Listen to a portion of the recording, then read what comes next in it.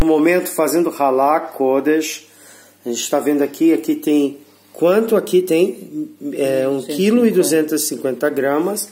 Tá? A gente está misturando bem a mistura dessa ralá. Né? Ela agora vai, a gente vai botar um pouquinho da água, água morna, já tem todas as misturas aqui. E agora a gente vai ver aqui, ó. Isso aqui eu comprei lá em Londres, aqui em Portugal, ou talvez no Brasil não tenha.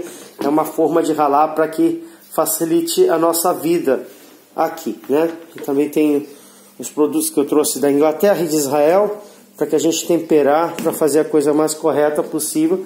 E essa ralagem a gente vai tirar ralada, ou, ou, ou a gente não tira essa ralada? Vai ter que tirar ralada aqui? Uma pergunta. Vai ou não vai? Vai, tirar claro. a ralada é aqui, porque tem 1250 né? gramas. E vai ter que fazer beirarra ou não vai? Sim. Então tá. Então a gente está vendo aí, daqui a pouquinho mais ver como é que ela vai ficar linda, maravilhosa. Tem mel, tem todas as coisas aí para essa ralá ficar mamma mia. A gente misturou tudo. Aí agora, não, não, tem que fazer, fechar, subindo e descendo. Fechando, abrindo tipo um envelope. Envelope, né? Das pontas aqui também. Isso, maravilha. E aí, massa de padeiro mesmo. Pão italiano mesmo, né? como a gente faz lá na Itália. Subindo e descendo. Aí misturou tudo, porque tô vendo aqui ao redor, a periferia dele, eu tenho que aproveitar toda essa farinha. Né? E aí, misturou bem. Olha, vê como é que já não está grudando mais na mão. E o pão, ele, a, a, a receita do pão ficar gostoso é quando você bate bem ele. Né? Daqui a pouco ele vai descansar. Ele vai descansar meia hora ou uma hora, dependendo da, da, do se é calor é rapidinho, se é inverno é demorado. Receita muito boa é quando você bota isso perto do forno, onde tem calor. Aí ela cresce mais rápido, tá? É uma dica de chefe. Você põe 50 graus no forno. Sim. É, do ladinho, só que para ela crescer bastante. Né? Mas aí a gente está vendo que a massa do pão já tem aquela massa de pão mesmo. Olha aqui, você vê que é massa de pão mesmo. Né? E depois a gente, antes de fazer assar, a gente vai fazer a ralar, né? Vai tirar e fazer a beirada ralar. Daqui a pouquinho mais a gente volta. Nessa altura, né, a gente já informou com a gema de ovo, a gente fez a BDK, né? E agora a gente está fazendo a... Botamos a gema de ovo dentro, botamos tudo aqui para ver, tá ótimo, né? E já botamos a sementinha para grudar e daqui a pouco vai receber a, a, a ralar aqui, mas antes de botar aqui a gente vai tirar a ralar. Então daqui a pouquinho mais ela está crescendo aqui, ó. Olha que interessante ela tá. Eu costumo botar um filtro, né, para que cresça. Ela já cresceu bastante. E aí depois a gente vai fazer a beira-rá da ralar. Então, se a gente não sabe, vai pegar o, pega o sidu para não ter erro, né? E mesmo que a gente saiba de cor, sempre é bom ter a, a beira-rá do lado, porque a gente é mitzvah das mulheres.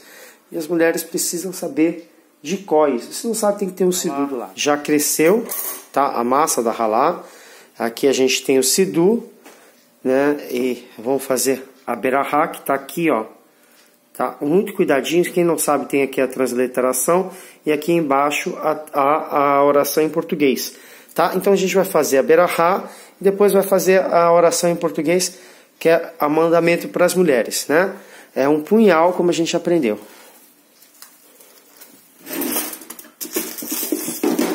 Esse é um punhal muito interessante. Só pegar aqui. Né? Antes de botar no, no, papel alumínio, a gente vai fazer a berahá.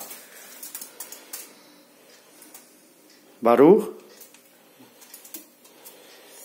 Baru atah Adonai Eloheinu melech haolam, asher kideshanu b'mizvotav v'tzivanu, lehafrish hala min haisa. Amém. Amém. É um costume muito grande a gente fazer essa, essa escote, que é para os coen, a gente não tem, né? Então a gente vai botar no papel alumínio e isso vai ser assado, tá? Na hora que a gente vai assar ralar, vai assar junto e isso vai ser colocado para para a situação a ré, tá? Então, a gente vai agora fazer a ralar, guardar isso aqui agora já não é um pão normal, isso é uma ralar para santificação, que a gente santificou agora. Vou cortar isso aqui. Né? E a gente vai botar essa massa. Essa aqui a gente tem que queimar depois, tá? Sempre fazendo segular com kavaná, santificação. Mulher que faz ralar e acende as velas de Shabat, ela vai ter filhos Talmid Chacham, vai ter, quem não casou vai casar, ter paz em casa. Isso é uma coisa. E vai ter netos. Shalom. Em Shalom Bike. Então daqui a pouquinho mais a gente vai ver como é que ficou essa ralá. Eu espero que seja muito bem. Olha a tradução. Bendito seja tu, eterno nosso Deus, Rei do universo, nos santificou com teu mandamento e nos ordenou separar uma parte da massa. É o mandamento de Oraita. Que maravilha, né? Vamos lá, a gente vai botar aqui, depois vai assar. Até mais. Nossa ralar descansou um pouquinho na forma, tá? E ela já vai direto lá para o forno. A gente vai colocar agora. Fica em torno entre 150, 160, dependendo do forno, tá?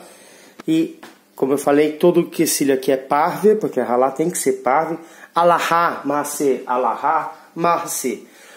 Todas as ralotas tem que ser parve porque você vai ter dar, vai ter refeições de carne e pode ter de leite. Então não pode, é proibido fazer ralar de leite para Shabat, tá? A não ser se você for fazer uma refeição já halavi, tudo, toda a louça halavi. Mas a forma normal, se for comprar ralar no mercado e tudo, tem que ser parve. Não, não pode ser de derivado de leite ou derivado de carne. Vamos botar a ralar. Olha que ralar bonito. Dá uma olhada aqui. Ralar de Shabbat Kodesh. Né? O que a gente vai fazer agora com a ralar verdadeira?